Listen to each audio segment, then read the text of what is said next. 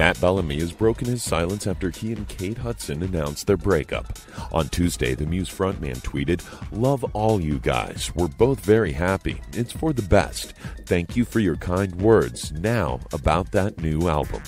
When the news broke on Monday, Kate's rep said that the pair had been separated for some time now, but that they remained close friends.